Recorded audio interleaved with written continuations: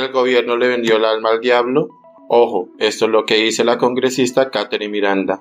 La representante se mostró enfurecida en las redes sociales indicó que ni siquiera Duque se atrevió a tanto.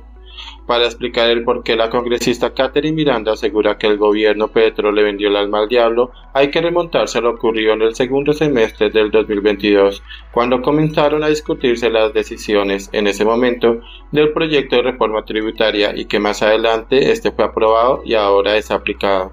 Pues en días anteriores el gobierno confirmó que el pago de los impuestos comenzó en abril hasta diciembre de 2023.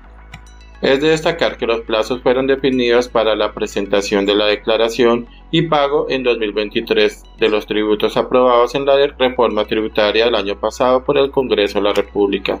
Pero ahora, regresando a la polémica, actualmente está en curso la discusión sobre los proyectos de reforma laboral y pensionaria en el Congreso de la República, y sobre este último la congresista trinó lo siguiente.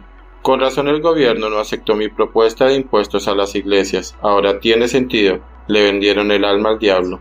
Es de recordar que el impuesto a las iglesias buscaba cobrarles un 20% sobre el impuesto de renta y el 3 de diciembre de 2022 esta propuesta no fue aprobada con 58 votos a favor y 26 en contra. El Senado decidió tumbar la iniciativa bajo el argumento de la libertad religiosa.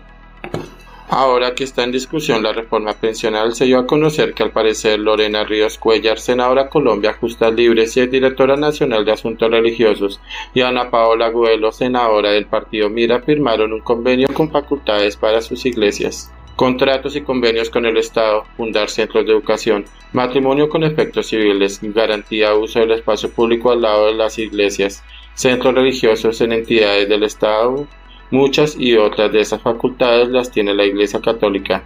Trino Melquisedec Torres, como indica en su cuenta en la red social, el periodista y abogado. Para el periodista y la congresista Miranda, causa suspicacia que firmaron el convenio justo en el momento que necesitaban sus votos en el Congreso, precisamente por las reformas que están en curso. Le entregaron nuestros impuestos a las iglesias cristianas a cambio de voto para la reforma pensional. Esto es el colmo. Qué vergüenza. Todo vale. Esto es una vergüenza, ni siquiera Duque se atrevió a tanto. No solo negaron mi propuesta de impuestos a las iglesias, sino que ahora usarán nuestros impuestos para hacer convenios con el Estado y crecer su fortín. Háganme el favor, siguió insistiendo Miranda en Twitter. La propuesta del impuesto a las iglesias fue una de las banderas de varios sectores de Alianza Verde y de la congresista. Incluso para la última reforma tributaria, del expresidente Iván Duque, el partido propuso agregar el artículo que tendría un recaudo de más de un billón de pesos.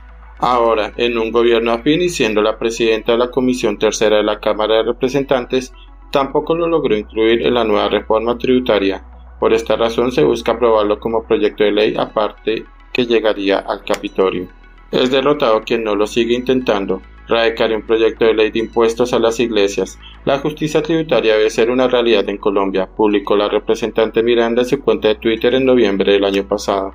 Después de una fuerte puja de la Alianza Verde para sacar adelante este tributo, la Comisión Accidental de Conciliación decidió no incluirlo por la delicadeza de la materia. Clara López, una de las integrantes de esa instancia, explicó por qué se dejó por fuera. Fue excluido porque siendo un derecho fundamental le corresponde por ley estatutaria a un comité técnico entre el Ministerio del Interior y la DIAN que deberá abordar por ese carril ese tema tan sensible, dijo López.